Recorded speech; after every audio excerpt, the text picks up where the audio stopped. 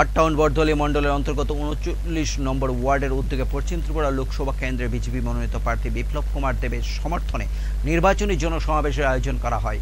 এই জনসভায় বক্তব্য রাখেন মুখ্যমন্ত্রী প্রফেসর ডক্টর মানিক শাহ। জনসভায় বক্তব্য রাখতে গিয়ে কংগ্রেস এবং সিপিআইএম এর বিরুদ্ধে এক হাতে নেন মুখ্যমন্ত্রী।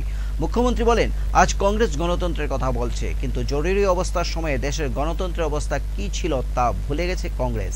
তাই নির্বাচনী জনসভায় আগরতলা পৌর নিগমের উনচল্লিশ নম্বর ওয়ার্ড এলাকায় নয় পরিবারের উনত্রিশ জন ভোটার বিভিন্ন দল ত্যাগ করে বিজেপি দলে যোগদান করে।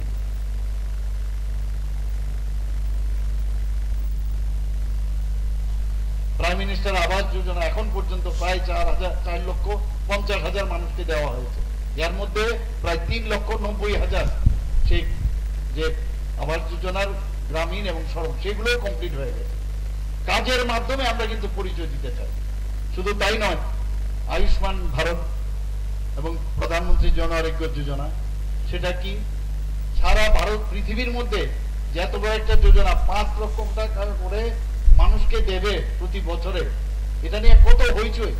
কিন্তু আজকে আমরা দেখছি যে এই আয়ুষ্মান ভারতের কার্ড আমাদের টার্গেট ছিল। প্রায় তেরো থেকে চোদ্দ লক্ষ মানুষের টার্গেট করেছিলাম। এবং হান্ড্রেড পার্সেন্ট তার স্যাচুরেশন পয়েন্ট আছে তারপরেও দেখা গেল যে অনেক লোক যে ক্রাইটেরিয়া আছে বিপিএল এবং অন্যান্য যে ক্রাইটেরিয়া আছে তাতে করে সবার কাভারেজ হচ্ছিল না।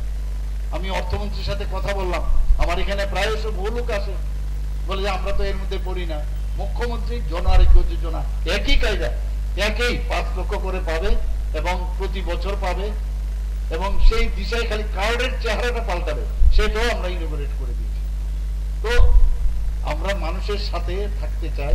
মানুষ আমাদেরকে নির্বাচন করে এবং সংখ্যাধিক্যের কারণে আমরা মন্ত্রিসভা তৈরি করি, কিন্তু বললে চলবে না কোনো অবস্থায় যে আমরা মানুষের প্রতি সেই কাজটা আমরা করছি। জল জীবন মিশনের জল, জলের কোনো বিকল্প হয় না। থ্রি পার্সেন্ট আমরা শুরু করেছিলাম।